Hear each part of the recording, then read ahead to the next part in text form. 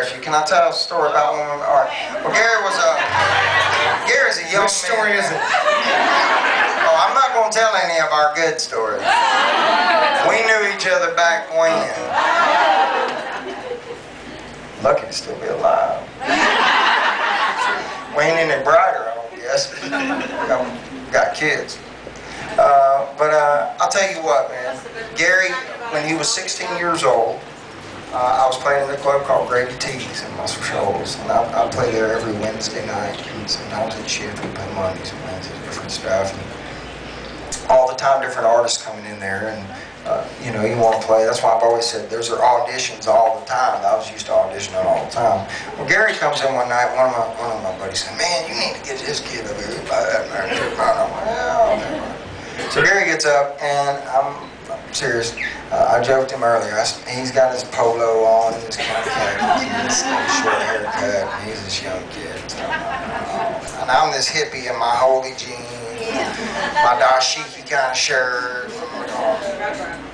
All right. This guy gets up and he rips apart a hunk of wood.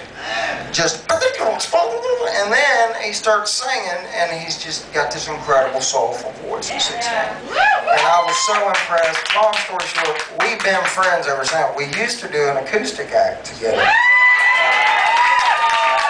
used to jam, and then uh, Gary went out on tour with. You know, a Y'all know Gary. I love him. Y'all know his history. Y'all that didn't know him, you know him now. Um,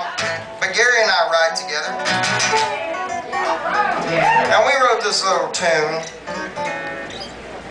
Uh, and we both got it, and we both did the same kind of nuances because we're the we're the we're the put it. Y'all ready to have a little bit of fun?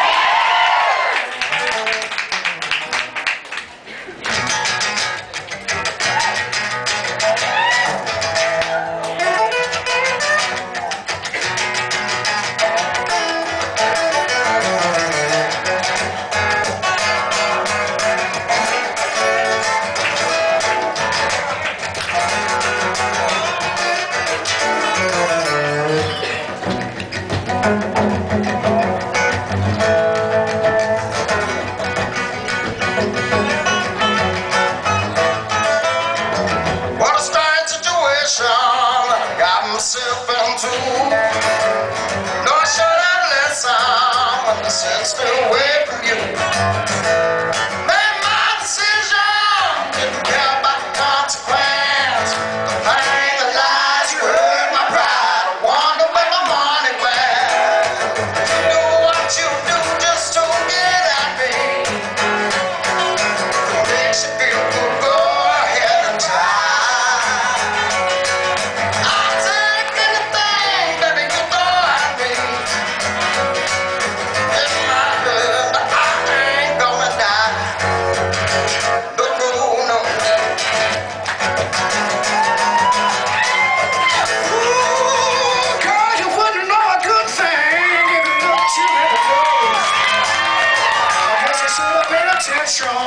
Jumping all into my space. You might have seen a new way.